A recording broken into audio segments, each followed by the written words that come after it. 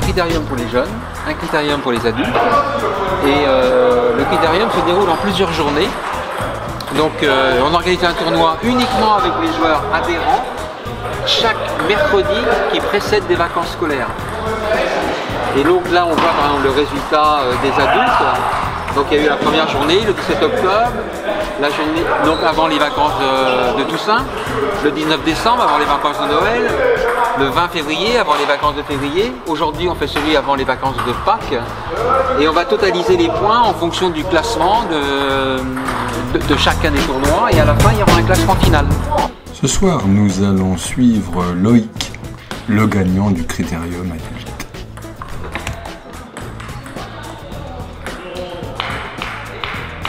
Avant le tournoi, on se chauffe un peu.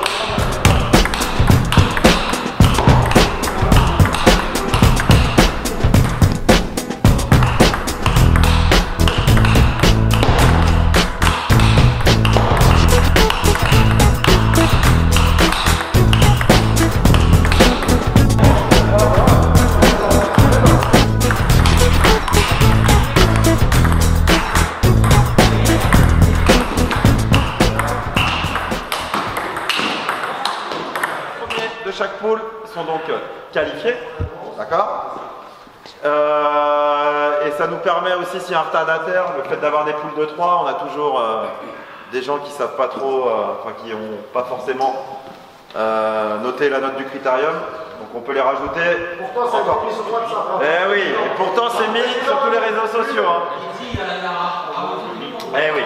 Donc voilà. Alors, on va faire tirage au sort comme d'habitude. On commence par poule de 4. On remercie. euh, alors, on a des, des anciens qui sont de retour. Poule numéro 2 sur la table 3 et 4, ici. Loïc. Loïc. Ils sont dégoûtés. Euh, Jean-Marie,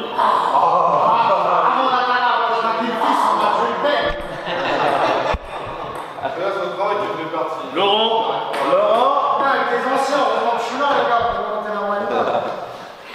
et Christian.